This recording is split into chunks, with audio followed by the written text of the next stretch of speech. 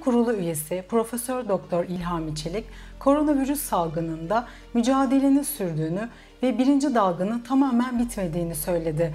Çelik ayrıca koronavirüs belirtilerinin de değiştiğine dikkat çekti. Sağlık Bakanlığı Koronavirüs Bilim Kurulu üyesi ve Kayseri Şehir Hastanesi Başhekimi Profesör Doktor İlhami Çelik, koronavirüsün birçok etkisi var. Yaz ayında bulantı, kusma ve ishal en çok görülen belirtiler oldu dedi. Profesör Doktor İlhami Çelik koronavirüs salgınıyla mücadelenin sürdüğünü belirterek, birinci dalga tamamen bitmiş değil ancak yaz geldiği için insan vücudu biraz daha dirençli. Yazın çok fazla solunum sıkıntısı yaşamadığımız için virüsün etkisi bu şekilde gözüküyor. Yoğun bakım ünitelerinde halen tedavi gören hastalarımız var. Virüsün hastalık yapıcı etkisinde azalma söz konusu değil diye konuştu.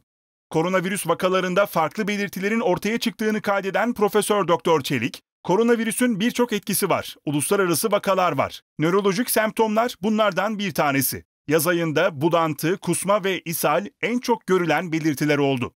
Klasik olan öksürük, ateş ve nefes darlığıydı. Halen öksürük, yüksek ateşi görüyoruz ama bunların yanında bulantı, kusma ve ishali de görüyoruz. Ciltte döküntü, koku kaybı da halen görülen semptomlar. Mayıs'ta çok sık kemik ve eklem ağrıları yoğun görülmeye başlanmıştı. Haziran ayı itibarıyla yüksek ateş belirtisi devam ediyor ifadelerini kullandı.